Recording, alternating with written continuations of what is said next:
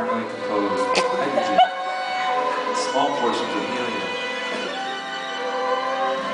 And they also have a rocky core of heavier elements that are high pressure, but no one really knows for sure. Jupiter is the fifth planet the sun, the largest in the solar system.